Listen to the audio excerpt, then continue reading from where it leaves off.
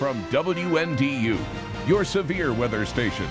This is News Center 16 at 5 in high definition.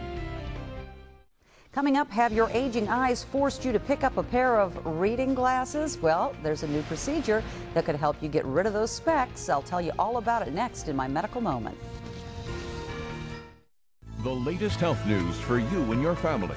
This is Maureen's Medical Moment. An innovative surgery could have you throwing away your reading glasses. The story in today's medical moment.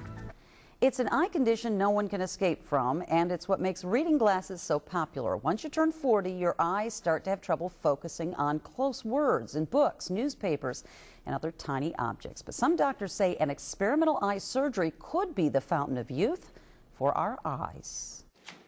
Marla Husky knows how to work her magic in the kitchen. With a large family, um, we don't go out to eat much. As she gets older, she finds herself doing less chopping and more straining. and anytime I got ready to cook, the glasses went on. An experimental procedure could turn back the clock for aging eyes. After age 40, um, every year, the distance that we can read things clearly begin to recede from us. As we age, the lens inside our eyeball grows, but the eyeball doesn't. Tighter quarters around the lens make it harder to focus. In a new procedure, surgeons implant four curved plastic spacers the size of a grain of rice within the wall of the eyeball, giving the lens space to change shape and focus.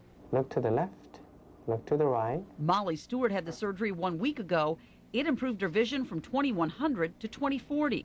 I can already tell a difference when they're doing the eye tests on me and I can read below the average line. Dr. Ming Wang says the surgery takes 15 to 20 years off the eye.